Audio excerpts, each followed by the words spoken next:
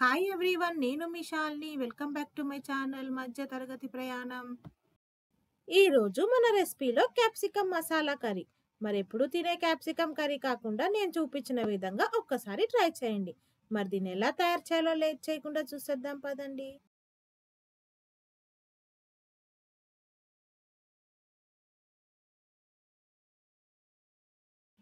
Capsicum masala curry తయారు చేసుకోవడానికి ముందుగా మనం స్టవ్ వెలిగించుకొని ప్యాన్ పెట్టుకోవాలి. ప్యాన్ వేడెక్కాక మూడు టేబుల్ స్పూన్ల ఆయిల్ వేసుకోవాలి.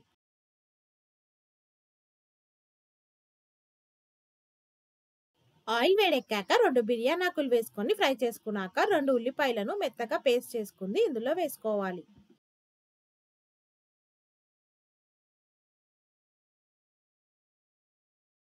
ఉల్లిపాయ పేస్ట్ని మనం పచ్చివాసన పోయే వరకు ఫ్రై చేసుకోవాలి. ఉల్లిపాయ పేస్ట్ ఫ్రై అయ్యాక ఇప్పుడు మనం ఇందులో ఒక స్పూన్ అల్లం వెల్లుల్లి పేస్ట్ ఒక స్పూన్ పసుపు వేసుకొని ఫ్రై చేసుకోవాలి. ఫ్రెండ్స్ మనం ఎప్పుడు తినే క్యాప్సికమ్ కర్రీ కాకుండా ఇలా నేను చూపించిన విధంగా ఒక్కసారి క్యాప్సికమ్ మసాలా కర్రీని ట్రై చేయండి. ఫ్రెండ్స్ ఇది చేసుకోవడం చాలా ఈజీ ఒక టెన్ మినిట్స్లో అయిపోతుంది.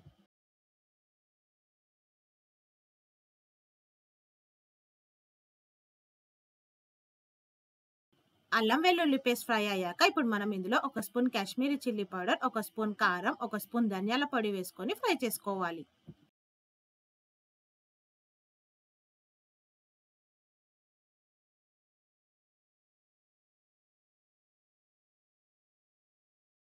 మసాలా మొత్తం ఫ్రై అయ్యాక ఇప్పుడు మనం ఇందులో కొబ్బరి పేస్ట్ వేసుకోవాలి. ఇక్కడ నేను పచ్చి కొబ్బరి ముక్కలను తీసుకొని పేస్ట్ చేసుకుంది ఇందులో వేసుకుంటున్నాను.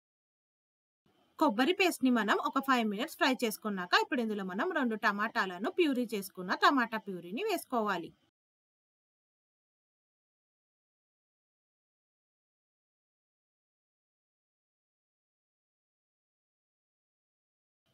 టమాటా ప్యూరీ మనకు కాస్త ఫ్రై అయ్యి ఆయిల్ పైకి తేలాక మనం ఇందులో రుచికి సరిపడిన ఉప్పు కొద్దిగా కొత్తిమీర వేసుకోవాలి.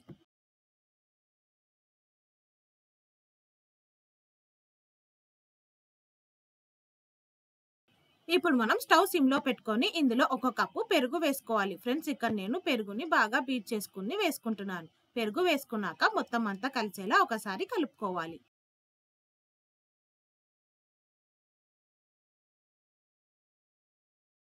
పెరుగు మొత్తం కలిసిపోయాక ఇప్పుడు మనం ఇందులో ఒక స్పూన్ ఆమ్చూర్ పౌడర్ వేసుకోవాలి. Friends amchur powder optional. మీరు వేసుకోవాలంటే వేసుకోవచ్చు లేకపోతే స్కిప్ చేయొచ్చు. ఇప్పుడు మనం సన్నగా కట్ చేసుకున్న క్యాప్సికమ్ ముక్కలను వేసుకొని క్యాప్సికమ్కి మసాలా మొత్తం పట్టే వరకు ఒకసారి బాగా కలుపుకోవాలి. క్యాప్సికమ్ ముక్కలకి మసాలా బాగా పట్టే వరకు ఒక రెండు నిమిషాలు మనం మూత పెట్టుకొని ఫ్రై చేసుకోవాలి.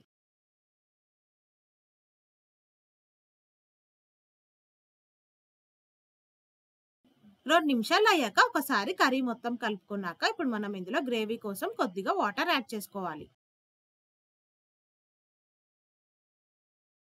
వాటర్ వేసుకున్నాక ఇప్పుడు మనం క్యాప్సికమ్ ముక్కలని మూత పెట్టుకొని ఒక ఫైవ్ మినిట్స్ ఉడికించుకోవాలి. ఫైవ్ మినిట్స్ తర్వాత చూస్తే చూసారు కదా ఫ్రెండ్స్ మనకు కర్రీ దగ్గర పడి ఆయిల్ పైకి తేలింది.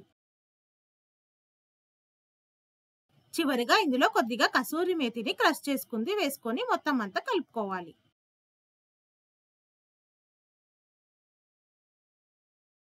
ఫ్రెండ్స్ నాకు ఈ మాత్రం చిక్కదనం సరిపోతుంది కాబట్టి ఈ టైంలో నేను స్విచ్ ఆఫ్ చేసుకుంటున్నాను. మీరు కావాలంటే ఇంకాసేపు కూడా ఉంచుకోవచ్చు. అంతే ఫ్రెండ్స్ ఇక మనకు క్యాప్సికమ్ మసాలా కర్రీ రెడీ అయిపోయినట్టే. ఇప్పుడు మనం క్యాప్సికమ్ మసాలా కర్రీని సర్వ్ చేసుకుందాం.